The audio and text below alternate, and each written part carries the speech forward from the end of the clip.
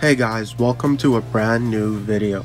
In this video, we're going to be talking about the world's largest all-electric commercial aircraft. There will be audio of the aircraft near the end of this video. You can skip there with the timestamp that is on the screen. But here are some details about the aircraft. They're calling it the E-Caravan.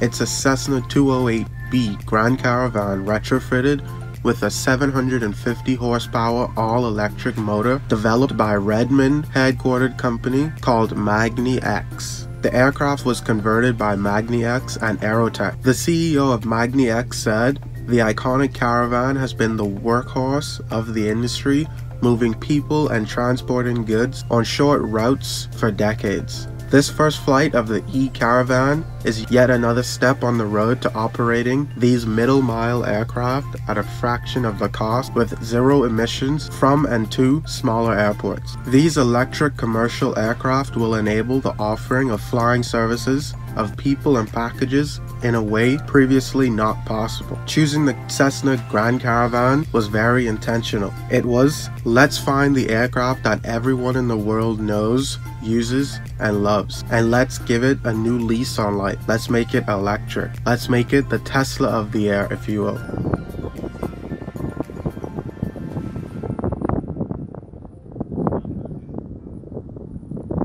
it's in the air.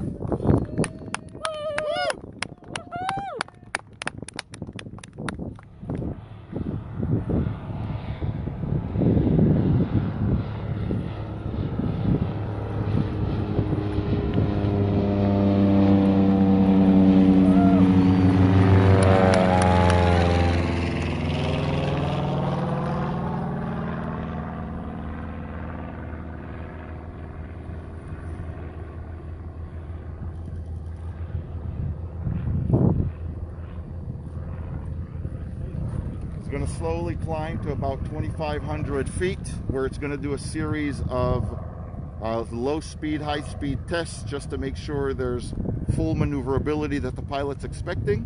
Uh, then it should be coming down to about a thousand feet, doing a few more runs. Overall, it should be around a 30 minute from takeoff to landing.